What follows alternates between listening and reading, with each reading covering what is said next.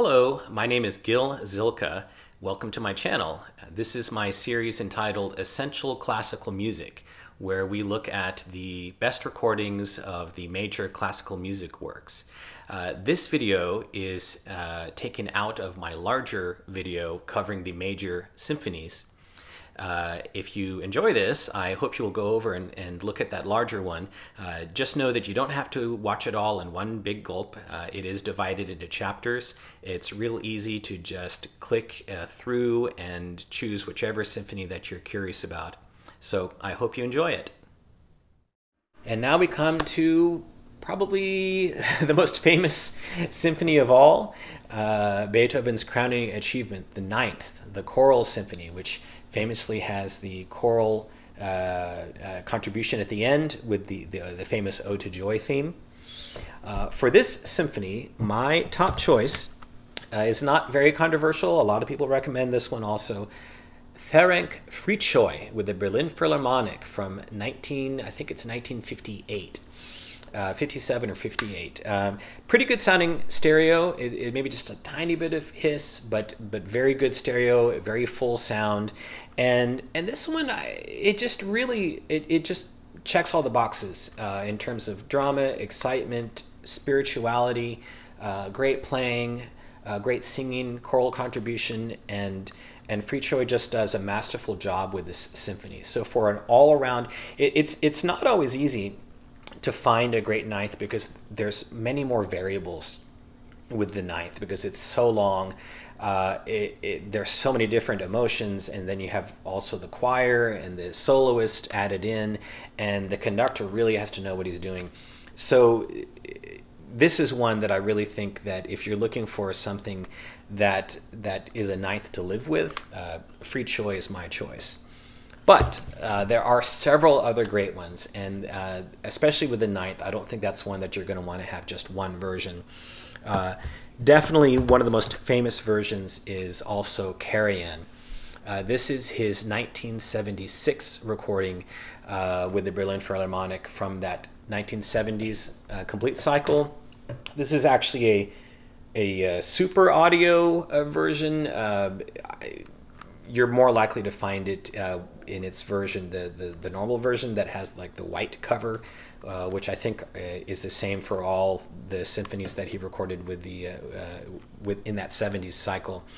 Um, this one, uh, first of all, he his the one from the the 1960s set. Uh, that's the big debate. Is is that one versus this one? a lot of people prefer that one. I think that this is the one that Karajan is a little bit uh, more loose and more dramatic, and uh, you know you get the full Karajan treatment. You get the the big sound, the the lush the lush sound from the Berlin Philharmonic. Uh, Karajan was just a master showman. He was very dramatic, and uh, you know you you have to hear Karajan in the Beethoven Ninth. Uh, the one thing I would say, uh, first of all, the soloists are fantastic, but the one thing I would say is for whatever reason, in Karajan's Beethoven Ninths, um, the choir tended to be a little bit more kind of small sounding, kind of recessed, and I don't know if that was from the way it was recorded or not, but it's it it's not the big wall of sound that you get with some versions.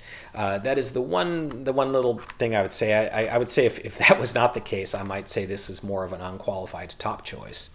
Uh, now another recording from around the same time is Bernstein with the Vienna Philharmonic, uh, recorded in 1979. This is again from his uh, Vienna Philharmonic cycle.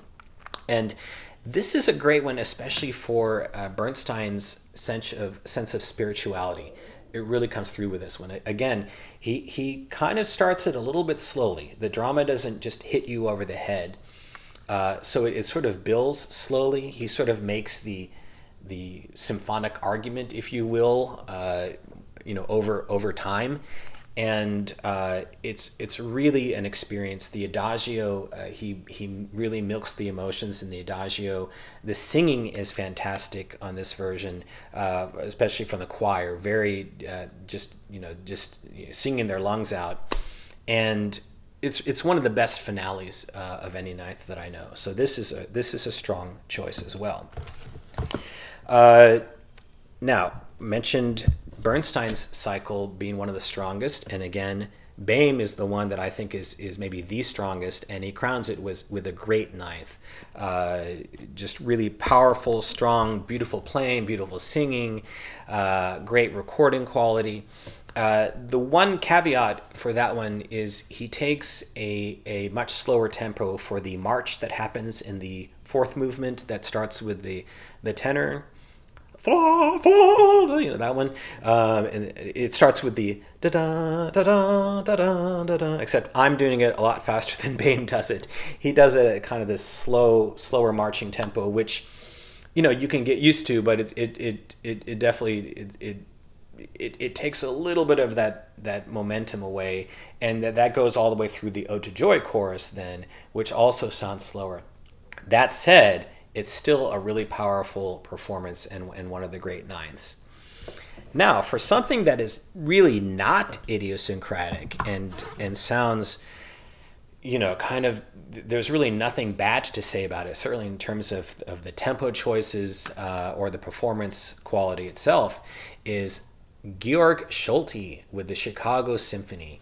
Uh, of course, Solti was in Chicago for many decades, and uh, he was known, he was a recording giant. He recorded just about everything. And um, the thing about the Solti uh, performance of the Beethoven Ninth is it's, it's a, a very sharp, uh, very incisive, dramatic, but not idiosyncratic at all. It, it, he, he just gives you the Beethoven Ninth. Um, uh, and, and there's without any uh, how to put it, you know it's it's never ponderous. It, the adagio is on what some people might say the slow side, um, but I mean it is an adagio, and he sustains it. it. He makes it work, and then the singing is fantastic. Uh, the chorus. Uh, trained by Margaret Hillis, who I had the privilege of singing once in my youth, uh, singing with, singing with. Um, the chorus is very disciplined, very strong. I, I talked about how Karajan, it, it, sounded a little bit like a letdown because of the, of the sound of the chorus. Not not in this version. Uh, the chorus really hits you with that wall of sound that you want. So uh, this is a good central recommendation for the ninth, as is one from a little bit earlier from 1965 Hans Schmidt Isserstedt with the Vienna Philharmonic. Uh, this is sort of an under the radar version. He wasn't the flashiest, flashiest of conductors. And to be fair, it's not the most dramatic ninth, but it's a very solid ninth. Uh, it's a very uh, it's a very spiritual ninth, and it's got fantastic singing. Maybe maybe the best quartet of singers. Uh, you got uh, Joan Sutherland and Marilyn Horne uh, the, the, Rossini uh, dynamic duo uh, in the soprano and alto uh, soloist. You have James King at the tenor, and then lesser known Martti Talvela, the bass. He sounds fantastic, as does the Vienna Staatsopernchor.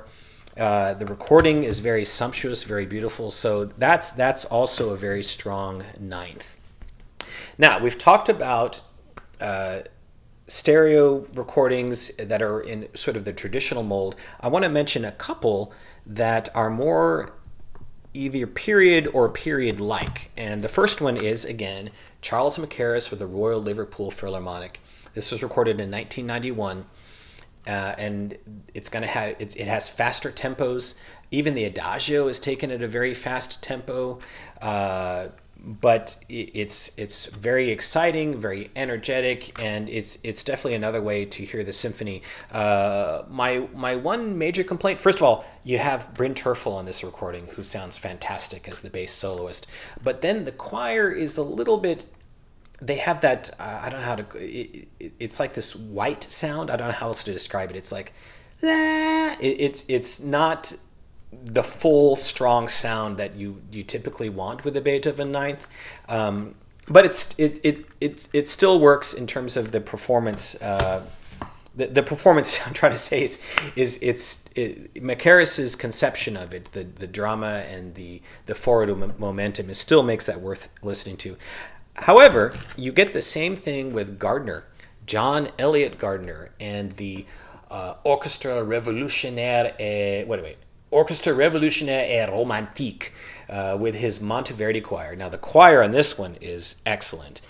Uh, this is from Gardiner's period instrument cycle from the early 90s that really caused a sensation. And if period performance is your cup of tea, that one, along with the Harnoncourt and the Immerseel, uh, is one to look for. Uh, it's wonderfully recorded. Uh, very very strong, great tone. Uh, Gardiner really uses a lot of fast tempos that challenge his his instruments uh, to their limits. Uh, but it, you know, I, I, almost want to say as a novelty because it's it's it's not necessarily a performance I'm going to live with, but it, it, is very impressive. Is what it was what I'm trying to say. Uh, and so for that reason, I recommend it, and it definitely makes an impact. And that final movement, especially with the with the excellent Monteverdi choir, that really packs a wallop. So. Uh, we have a few more recordings to talk about with the Beethoven Ninth, and uh, sort of the last but but not by any means least. Uh, first is Klemperer. Uh, this is with the Philharmonia. This is recorded in 1961. There also is a 1957 recording, and, and these are both live versions, not his uh, stereo studio recording, which is is is very good, but it is a little bit on the it's it's it's a little lacking in energy. Uh, these live performances really brought out the best in him, and you get you know the the Klemperer treatment with this. You get this this just this massive power and strength and relentlessness. Uh, the soloists are all great. Uh, the the recording is is uh, you know it's it's a uh, a live recording, so even though it's it's in stereo, it's it's a little bit noisy and a little bit more limited, but there's a sense of occasion that really makes this uh, something that you must hear if you love the Ninth Symphony. However, if you're going to talk about the Ninth Symphony, uh, it's almost inescapable that you talk about uh. Uh, this is probably the work with which he was most identified in his career. Uh, he never recorded it in studio. Uh, it's it's his live performances that really show his best, and there are three that are typically debated uh, in terms of which ones show is best. And really, I think all three are so different from each other that I, I recommend really all three. Uh, the one I start with, though, is the one that is the most familiar to people. And this is the famous 1951 recording with the Bayreuth Festival. The Bayreuth Festival is, is Wagner's festival uh, that uh, closed down during the war, but then reopened in 1951. And this was a sort of a commemoration of the reopening of Bayreuth. And uh, of course, there's a sense of occasion but it's also a really uh, fantastic performance. It's the the sound quality is is somewhat limited, but it, this transfer Orfeo, not not the EMI transfer that um, probably more people are familiar with, but the Orfeo transfer uh, is is pretty good. It's got good presence. Um, it's a little bit noisy in some parts. Uh, the orchestral playing is a little bit untidy. Um, the chorus sounds a little bit, you know, recessed, but that's why not why we're listening to this. We're listening to this for uh, uh, wonderful interpretation, uh, the the the drama, the emotion, the spirituality, uh, the heartfelt adagio. He it's it's really long, but he sustains it. You know, the thing about tempo. It's it's not a question of how long something takes. You can you can conduct something in half the time and it sounds like you're just trying to get through it so that the you know the audience is bored whereas you can conduct something in in, in uh, you know like in this case uh, what 20 minutes uh, 19 and a half minutes for the adagio. But the way Furtwängler sustains it is in a way that just keeps you captivated the whole time. And then uh, the final movement it just the emotions all just really spill out. So this is the first one that i recommend to people. However uh, he did one in 1954 with the Lucerne Festival. Uh, and this is an Audite, Audite transfer, uh, the same company as that put out this box. It's not in this box, but it is the same company. Uh, this is a really fantastic transfer. Uh, there also is a, a, Tahra transfer as well. Uh, this version, first of all, is his best recorded ninth by far. So if recording quality is something that you care about uh, and you want to hear Furtwängler the Beethoven ninth, this is probably your best bet.